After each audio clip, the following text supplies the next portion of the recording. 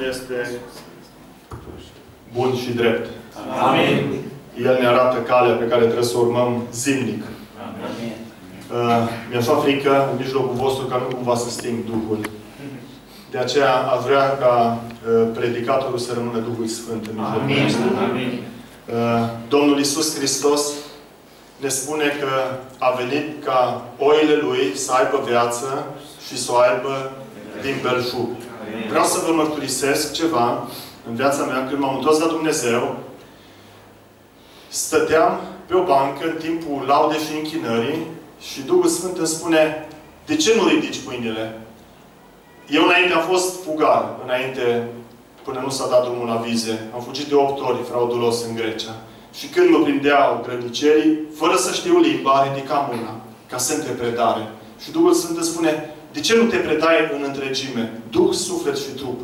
Și am înțeles atunci ce înseamnă versetele împăratului David. Laudă suflete pe Domnul și tot ce este în mine să binecuvânteze numele Dumnezeu. Duhul lui comanda sufletului, adică gândirii, și acționa și în trupul lui.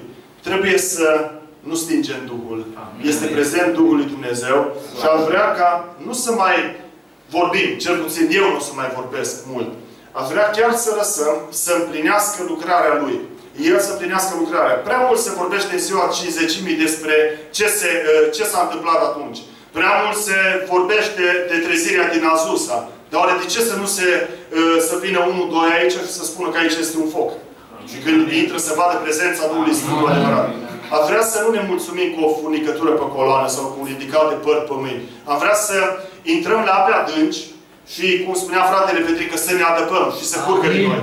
Sunt gelos în trupul lui Hristos când văd pe cineva că nu-i liber.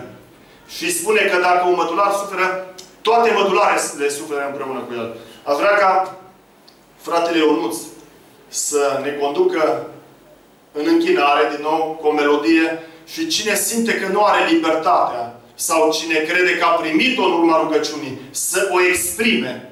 Și aceasta este un semn al credinței. Dacă n-a putut până acum să ridice mâinile, să ridice mâinile sus, ca dovadă a credinței. Și dacă cel rău va mai veni, pentru că, din păcate, Duhul de comunism, Duhul de religie a venit prin comunism la noi în țară și a legat pe foarte mulți. Și sunt niște lanțuri spirituale care nu ne dă voie să ridicăm mâinile. Spune, nu arată importanță. Are importanță. Are importanță. Mare importanță are. Cum vii înaintea lui Dumnezeu. Predă-te în întregime și vei vedea cum vei fi adăpat. Vei fi umplut de Duhul Sfânt și chiar dacă ai botezul Duhul Sfânt, e nevoie. Fapte 4 au reu, fost reu plus cu Duhul lui Dumnezeu. Trebuie ca Dumnezeu să spună ziua de astăzi Amin. Când El spune se cutremură locul. Să nu ne mai cutremurăm noi când vedem locurile frumoase, ci locul, pământul să se cutremure când vede Fiul lui Dumnezeu.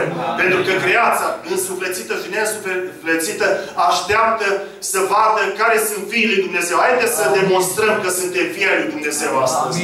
Haideți să intrăm într-o rugăciune. În timp ce fratele ne conduce în închinare, îmi place că aveți închinare și nu doar cântare. Îmi place că sunteți închinători în duș și în adevăr. Apreciez biserica aceasta și când am intrat în interior, am spus, Doamne, eu n-am ce să vorbesc mult aici, pentru că eu doar fac parte. Duhul Sfânt este de ajuns și îmi place că spunea fratele Petrică, amvonul aici este crăpat. Este crăpat în spiritual.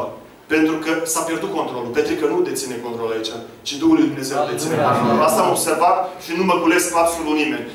Să fie crăpat avonul spiritual înseamnă ca nimeni să nu dețină controlul, ci doar Duhul lui Dumnezeu să dețină controlul. Am vrea dacă cineva nu a fost botezat în Duhul Sfânt, cum putem noi să ne bucurăm de ziua cinzecimii și alții să nu se bucure împreună cu noi?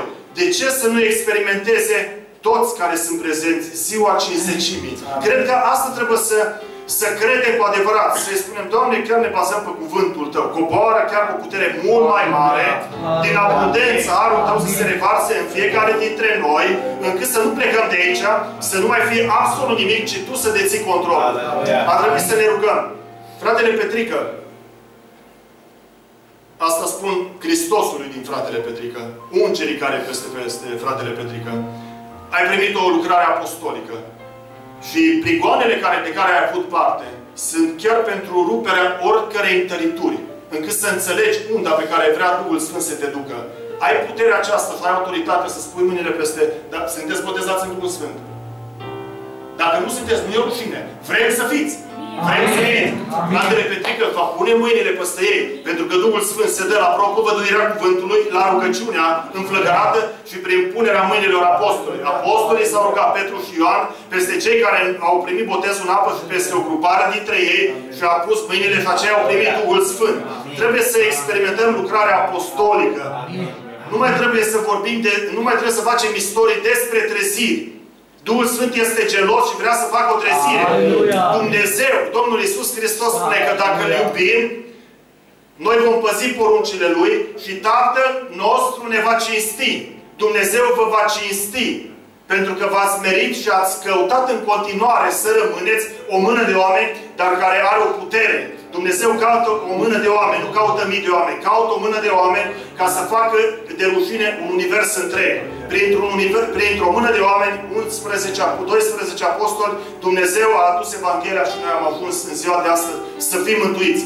Haideți să ducem pentru generațiile următoare acest foc al trezirii. Fiecare dintre noi să credem că dacă cerem cu credință, am fi primit lucrul acesta și îl vom avea. Sunt cuvintele Domnului Isus Hristos. Și dacă credem în Isus Hristos ca Domn, nu doar ca Mântuitor, trebuie să luăm cuvintele ca și când s-au împlinit de fapt. Aceasta este credința. Nu avem confirmă, nu avem nimica. Dar credem că Dumnezeu vrea să continue în ziua aceasta ce a continuat. Să nu lăsăm să se stingă Duhul. Rânduiala în biserică este când Duhul Sfânt este prezent.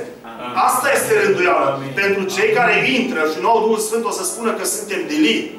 Pentru că ei umblă neorânduială. Pentru că nu avem dreptul să nu fim călăuziți de Duhul lui Dumnezeu.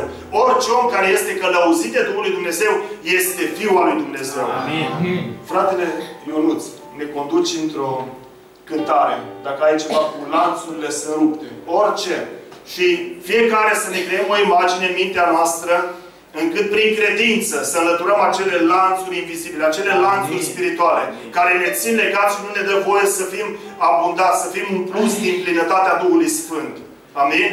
Amin? Cine simte că viața lui este un pustiu, dar nu este un pustiu după voia lui Dumnezeu, să ceară o reumplere a Duhului Sfânt. Amin. Și Domnul va da.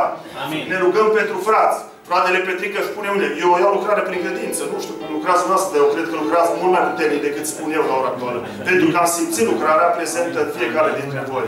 Amin? Amin.